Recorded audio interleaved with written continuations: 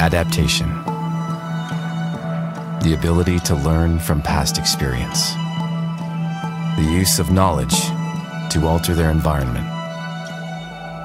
These virtues defined our creators and drove them to the brink of destruction.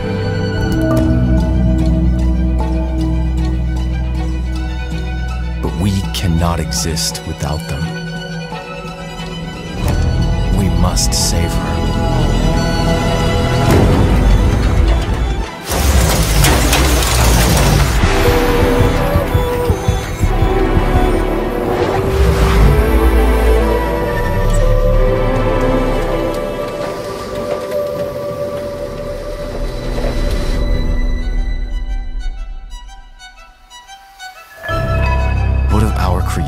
Exists within us?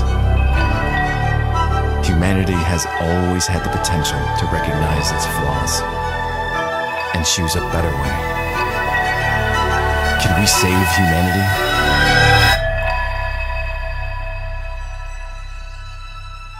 Was bringing her here the right choice?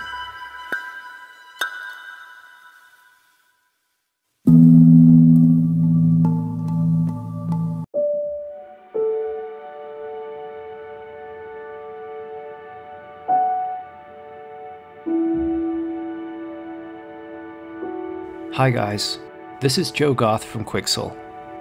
Thousands of you have asked how our latest real-time cinematic Rebirth was made, almost not believing that the technology has come to this point where photorealism is possible in real time. But we're here to tell you that finally, photorealism is now not only possible in real time and for games being made right now, but that when you use these cutting-edge real-time tools and assets, it's incredibly easy. What you see is not pre-rendered. This is running in real time on a mainstream gaming computer with a single 1080 Ti. Not only that, this is a fully interactive world.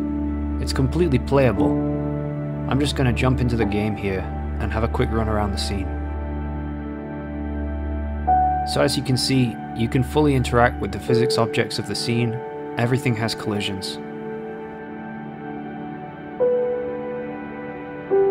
If I push this little rock off here, it's going to go falling down. The other great thing that we can do is change the lighting. Full dynamic lighting helps us work much faster. We could also make the most of Unreal Engine's volumetric effects. The dynamic lighting really helped us on our short film. It meant that we could iterate very quickly on our shots and adjust things in real time. We never had to stop and wait for renders. Everything could be adjusted right then and there. Here you can see me tweaking the fog and some of Unreal Engine's post-processing effects, like chromatic aberration, vignetting, and film grain.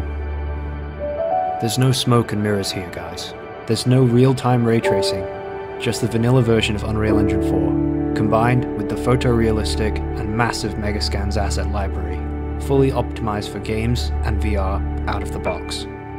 By having a world-class game engine and all the photorealistic building blocks you could possibly need from day one, you can focus your creativity where it matters the most, building fun, meaningful, and immersive experiences. We are one step closer to fully interactive worlds, indistinguishable from reality. And the good thing is, with Unreal Engine and Megascans, we're able to build it with ease. Stay tuned for tutorials this summer. This is Joe Garth from Quixel, signing off. Until next time.